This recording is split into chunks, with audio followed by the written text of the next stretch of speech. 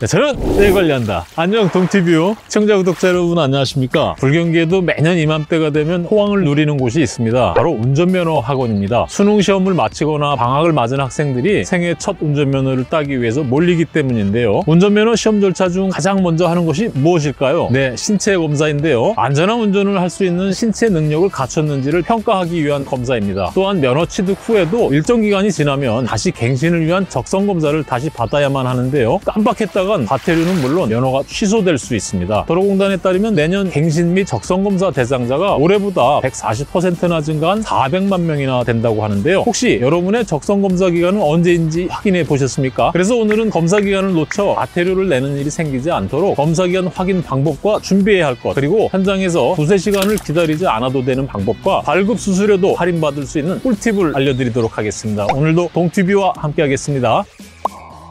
동티뷰. 내년에 갱신 및 적성검사 대상자가 400만 명이 넘는다고 하는데 혹시 내가 대상자인지부터 확인을 해봐야 할 것 같아. 첫 번째로 나의 갱신 및 적성검사 확인 방법. 확인 방법은 간단해. 운전면허증을 꺼내서 전면의 하단부를 보면 적성검사 기간이 명시가 돼 있는데 나도 보는 것처럼 검사 기간이 2023년 12월 31일까지로 며칠 남지를 않았더라고. 두 번째 그럼 갱신 및 적성검사는 얼마 만에 다시 받아야 하는 걸까? 운전면허 시험 합격일로부터 10년 또는 직전의 운전면허 갱신일로부터 10년이 되는 날이 속하는 해에 1월 1일부터 12월 31일까지의 기간에 받도록 돼 있어. 단 운전면허 시험 합격일 또는 직전의 운전면허 갱신일에 나이가 65세 이상 75세 미만인 사람은 5년, 75세 이상인 사람은 3년에 한 번씩 검사를 받아야 해. 세 번째, 갱신 및 적성 검사 시 준비물은 제2종 운전면허 갱신은 반납할 기존의 운전면허증과 여권 규격의 사진 한 매가 필요하고 제1종 보통 면허의 경우는 역시 반납할 운전면허증과 여권 규격의 사진 두 매가 필요하고 여기에 신체 검사서가 필요한데 만약 2년 이내 국민건강보험공단에서 건강검진을 받은 경우라면 건강검진 결과 내역서로 대체를 할 수가 있어. 네 번째, 갱신 방법은 가까운 경찰서, 면허시험장 방문과 온라인 갱신 중 선택할 수가 있고 현장에서 당일 접수, 당일 수령이 가능하긴 한데 대기 시간이 길기 때문에 미리 도로교통공단 홈페이지를 통해 방문 날짜와 시간을 예약하고 방문하면 시간을 절약할 수가 있어. 그리고 온라인 갱신 방법은 도로교통공단 안전운전 통합 민원 사이트에 접속해 신청을 하면 되고 순서는 운전면허증 발급에서 1종인지 2종인지를 선택하면 되고 실명 인증 후에 질병 및 신체에 관한 자기 신고서를 작성하면 돼. 나는 작년에 국민건강보험공단에서 건강검진을 받은 자료가 있어서 적격으로 표시가 되었고 다시 사진 등록과 면허증 종류를 선택해야 하는데 갱신 비용은 1종과 2종 종류에 따라 조금씩 차이가 있고 비용은 표에서 보는 것과 같아. 이후 가까운 경찰서나 면허시험장에서 바로 면허증을 살 수가 있는 거야. 그리고 도로교통공단에서는 검사 기간에 집중되는 것을 예방하기 위해서 2024년 1월과 2월에 온라인 적성검사 신청자에게는 발급 수수료를 10% 할인을 해준다고 하니까 참고하도록 하고 마지막으로 적성검사를 넘기게 될 경우 제1종 면허 소지자는 3만원, 2종 면허 소지자는 2만원의 과태료가 부과가 되고 또 제1종 면허 소지자의 경우는 만료일 다음 달부터 1년이 경과되면 면허가 취소되니까 혹시라도 나처럼 깜빡하는 일이 없도록 해야 할 거야.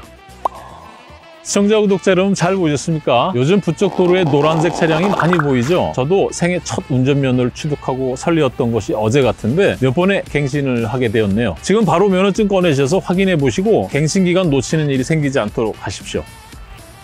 감사합니다. 네, 저는 내 관리한다. 수고했어, 동티뷰.